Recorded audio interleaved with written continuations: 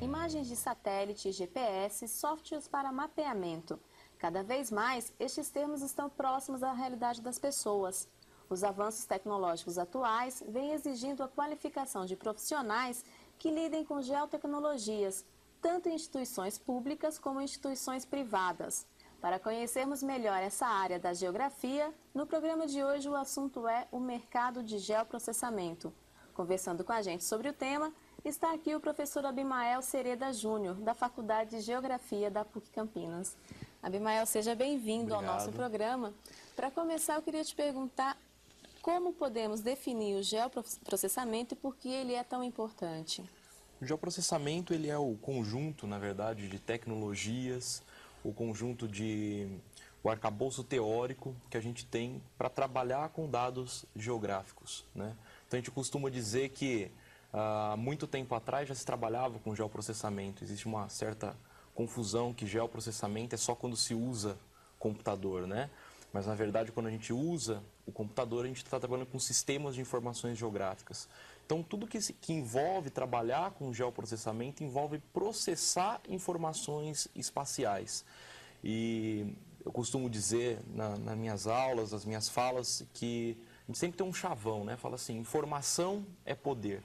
Né? Nos últimos anos isso não mudou, na verdade. Né? Geoinformação é o poder. É, vídeo caso aí da, da empresa Google, né, que comprou empresas que trabalhavam com, já com imagem de satélite, todos hoje, você fala de GPS, todos já sabem o que é um GPS, ou pelo menos têm ideia, é o novo sonho de consumo, né? É, mapas antes eram algo que a gente via em determinadas escolas, a gente via numa formação muito específica. Hoje, uma criança, qualquer pessoa pode instalar um software na casa dela e fazer um mapa. Então, o geoprocessamento, que antes era uma área muito restrita somente à geografia, às engenharias que trabalhassem com mapeamento, hoje estão ficando cada vez mais próximas da gente, né? Tá, e o Brasil ele dispõe de infraestrutura para se tornar uma potência nessa área de geoprocessamento? Sim, sim, sem dúvida. Brasil, a gente pode citar o principal caso, é, caso de sucesso disso é o Instituto Nacional de Pesquisas Espaciais, o INPE, né, São José dos Campos. Hoje ele é reconhecido no mundo todo como um centro de excelência por dois motivos, né? Aliás, diversos motivos, mas dentro dessa área específica, Primeiro que a gente tem o CIBERS, que é o satélite sino brasileiro. É um satélite é, com tecnologia brasileira, feita no Brasil, com parceria é, compartilhada com a China, né? É, mas com tecnologia nacional que está tirando imagens é, do, a partir do espaço, são imagens orbitais de satélite, tirando é, imagens aí do, de todo o globo. o interessante, que a, que a segunda que desponta é o quê? essas imagens for, são distribuídas gratuitamente.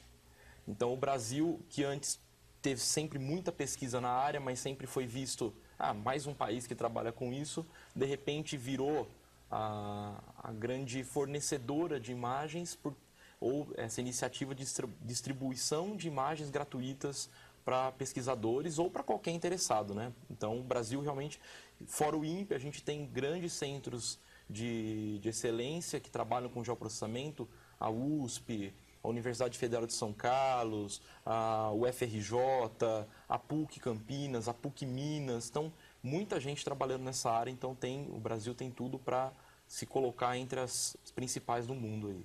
Tá, então pelo que você está me, tá me dizendo, existe uma demanda então por profissionais dessa área. Existe uma demanda enorme, né? Uma demanda tanto do mercado de trabalho para realmente atuar em empresas, quanto também em, na questão de pesquisa. Né? E tem uma demanda muito grande ainda no Brasil. E a região metropolitana de Campinas e o Brasil como um todo está capacitado para atender essa demanda? Tem profissionais para isso? Tem profissionais, mas poucos profissionais. E alguns que existem ainda não estão totalmente qualificados. Né? é, existe ainda muita migração de cursos, né? Então, o pessoal que trabalhava estritamente com topografia acabou migrando para a área de geoprocessamento. O pessoal que trabalhava com mapas só na mão acabou migrando.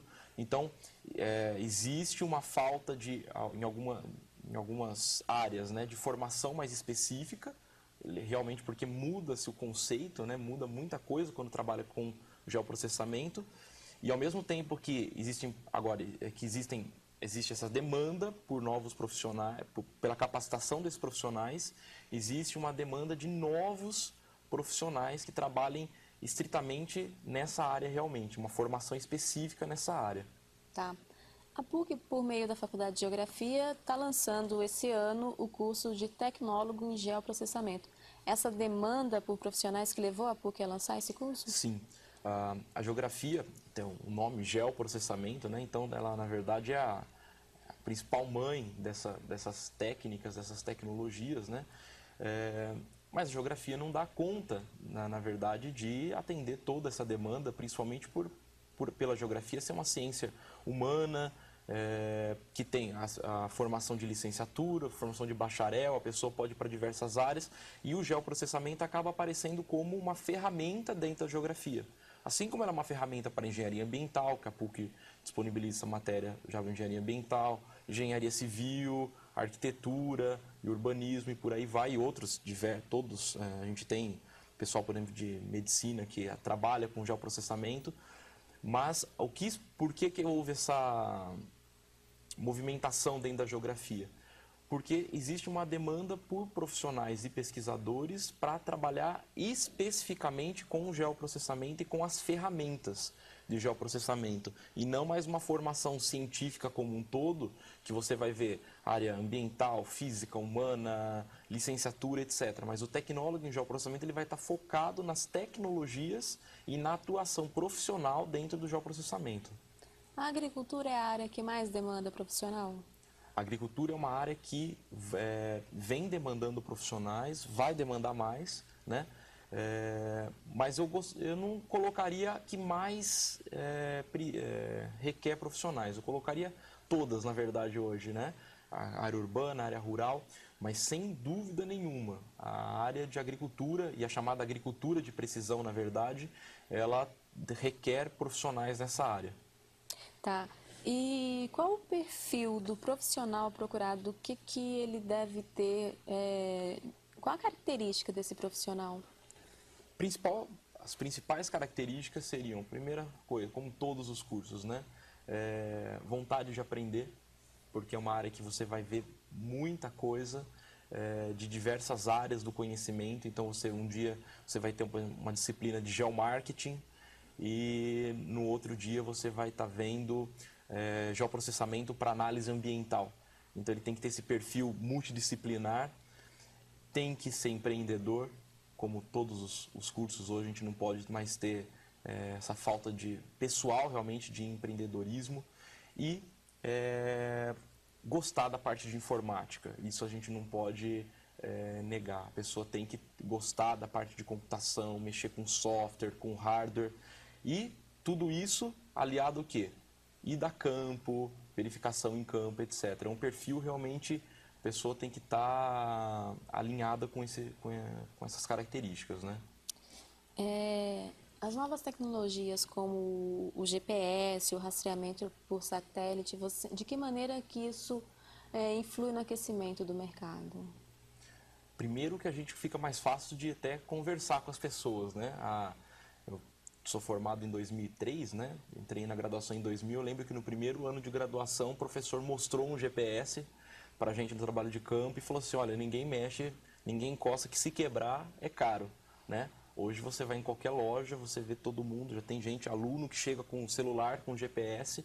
Então, a primeira coisa é que o mercado começou a ver que necessitava dessas ferramentas. Né? Como eu disse antes, informação é o poder e hoje geoinformação é o poder começou a verificar que se eu aliar a informação geográfica à minha informação que eu estou coletando, ela fica muito mais poderosa. Né? Estamos aí em época de eleição. Se a gente pegar um, um determinado candidato a prefeito ou a vereador, que, que eles antes, ah, tal bairro é, tem tal necessidade. Ele vai lá, anotava num papel, ah, vou falar tal coisa no comício. Né? Hoje, como que eles estão fazendo? Eu tenho um mapa da minha cidade, eu tenho já as demandas sociais de cada bairro, eu tenho os dados coletados do IBGE de censo, ele cruza isso com informações ambientais e eu consigo ver um diagnóstico já para ele atender o que, que ele vai, por exemplo, falar ou como ele vai montar a proposta de trabalho dele a partir de ferramentas. Então, GPS aqueceu demais. Rastreamento é um outro assunto também que existem dois lados da moeda, né? Muita gente discute falta de privacidade, o que, que vai acontecer, o que não vai, mas é uma realidade. E isso realmente aquece o mercado. Por quê?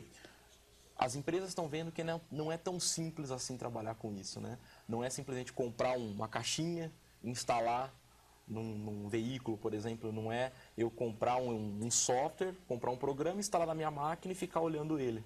Né? Uhum. Né? Que aconteceu muito, né? Muitas empresas estão até decepcionadas, pode ter alguém está até assistindo e fala, não quero mais ouvir falar de geoprocessamento, né? Por quê? Comprou um software, comprou um banco de dados, instalou lá, ficou olhando e falou assim, agora o que eu faço com isso? Porque não tinha quem alimentasse aquele software, aquele banco de dados, não tinha quem trabalhasse para ele, quem extraísse informação para ele. Tá. Eu vou pedir licença para você um minuto que a gente vai fazer um pequeno intervalo. E voltamos dentro de instantes. Até já.